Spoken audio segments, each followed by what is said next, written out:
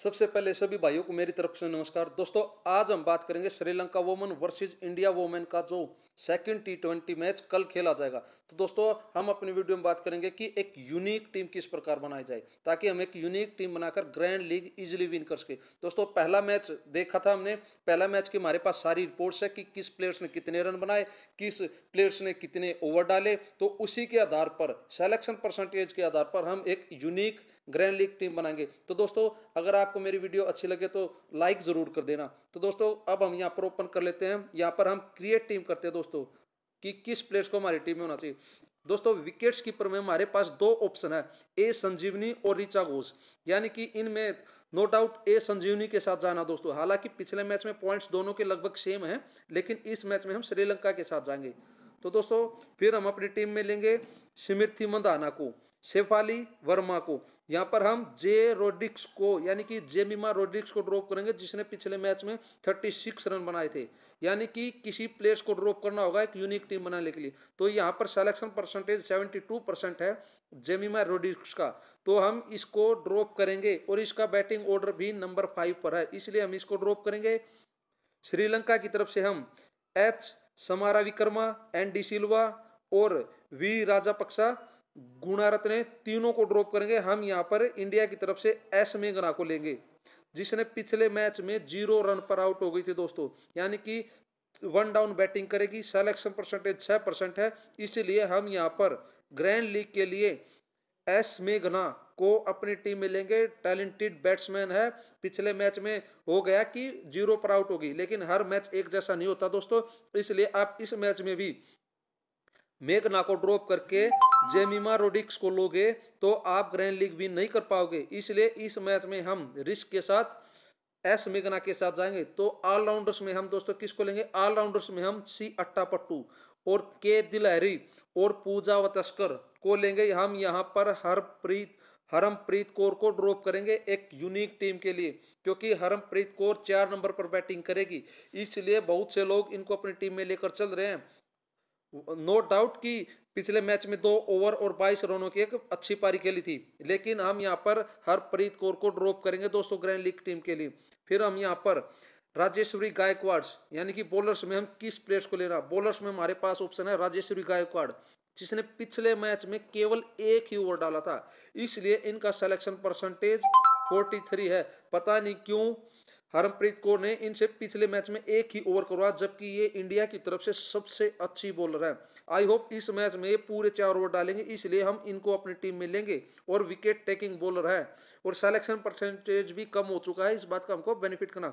साथ के साथ हम यहाँ पर ओ राना सिंघा, जैसे कि पिछले मैच में बताया था कि एक अच्छी विकेट टेकिंग बॉलर है और पिछले मैच में तीन ओवर डाले और दो विकेट्स लेकर गई थी।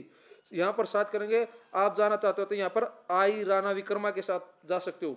मैं भी जाऊँगा दोस्तों। कारण है, पिछले मैच में चार ओवर डाले थे और तीन विकेट्स ली थी। हालाँकि श्रीलंका की टीम से बैट्समैन ने तो ज़्यादा कुछ नहीं किया था, लेकिन बॉलर्स ज़्यादा अच्छे रहे थे।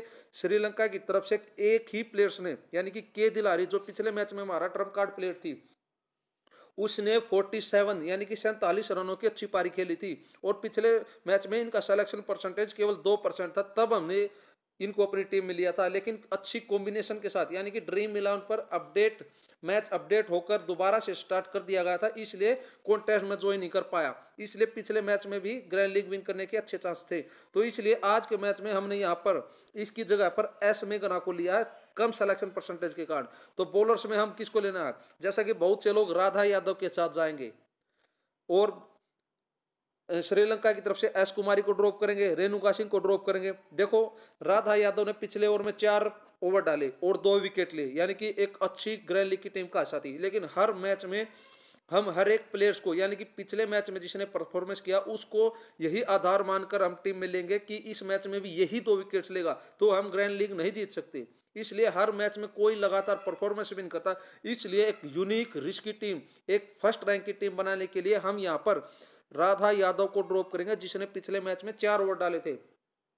हम इनकी जगह पर रेणुका सिंह को लेंगे, जिसने पिछले मैच में इन्होंने भी पूरे चार ओवर डाले थे, लेकिन इनको कोई विकेट नहीं मिला था।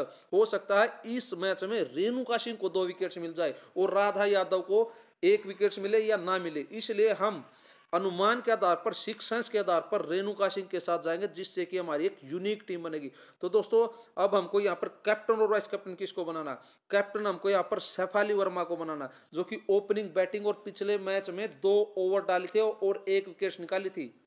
इसलिए इस मैच में भी ओपनिंग करेंगी और दो ओवर डालेंगी और विकेट्स लेंगी। हालाँकि ओवर्स ना डाले या डाल भी सकती है, दोनों चीज़ हो सकती है, लेकिन बैटिंग से आपको अच्छे पॉइंट्स देंगी। इसलिए हमारे पास सबसे बेस्ट ऑप्शन है सैफाली वर्मा वाइस कैप्टन आप किसके साथ जाना चाहेंगे? वाइस कैप्टन के पास हमारे साथ है सबसे अच्छा ऑप्शन है सी अट्टापोटू जो श्रीलंकाई टीम की कैप्टन है टैलेंटेड बैट्समैन है दोस्तों। साथ के साथ बॉलिंग भी करती है। पिछले मैच में हालाँकि बैटिंग से तो सोलह रन ही बना पाई थी, लेकिन दो ओवर और एक विकेट डाली थी।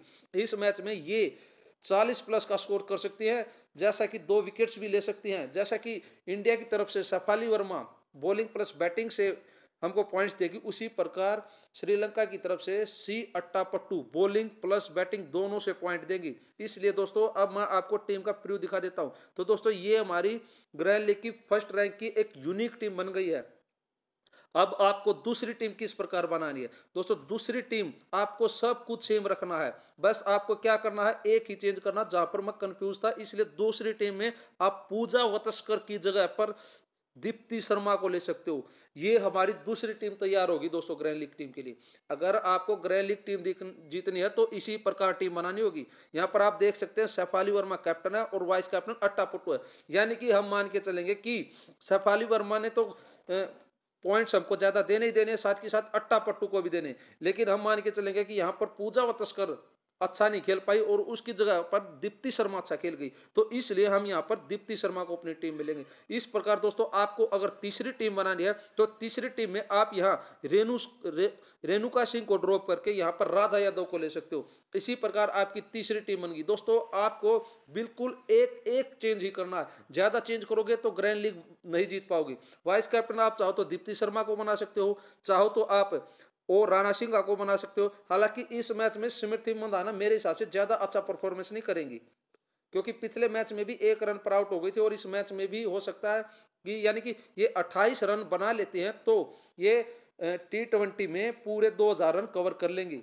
इसीलिए हो सकता है कि ये 28 से 30 रनों की पारी खेल ले, इससे ज़्यादा की उम्मीद मैं नहीं कर रहा हूँ, इसलिए उनको कैप्टन वाइस कैप्टन नहीं बना रहा हूँ। दोस्तों, तीसरी टीम मैंने बता दिया, तीसरी टीम में आपको रेणुका सिंह की जगह पर राधा को लेना। आप चाहे तो किसी किसी टीम में हरमप्रीत कौर को ले सकते हैं भाई लेकिन मैं यहाँ पर हरमप्रीत कौर को ड्रॉप करके चल रहा हूँ। तो दोस्तों अगर वीडियो अच्छी लगी हो तो चैनल को लाइक और सब्सक्राइब ज़रूर कर देना। तो, तो दोस्तों मेरी तरफ़ से नमस्कार।